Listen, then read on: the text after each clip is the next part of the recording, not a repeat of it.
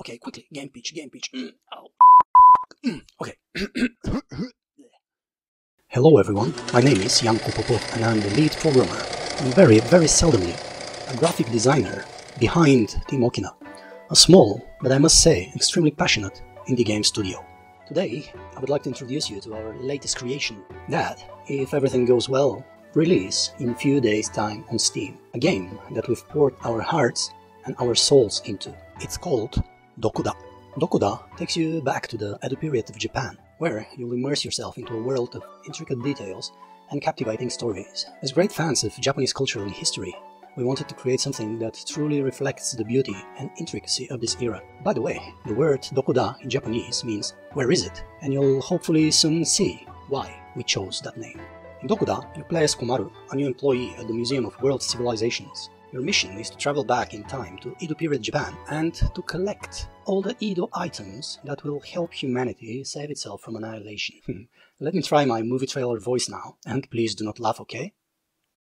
Explore 12 different locations, solve puzzles, and uncover hidden secrets that could save humanity.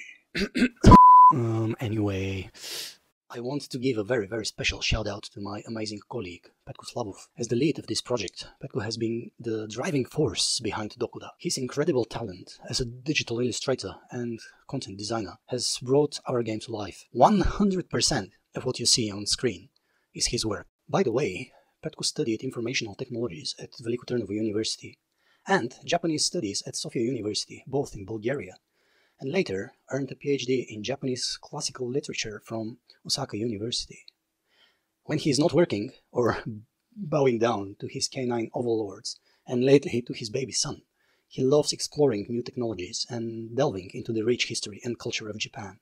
Without Petko's vision and dedication, Dokoda wouldn't exist. So, if you're looking for a game that combines unique visuals, interesting historical setting, and a touch of Japan, look no further check out Dokoda on Steam in the link below and join us on this bite-sized adventure in Edo period Japan. We really hope you'll like it. Cheers!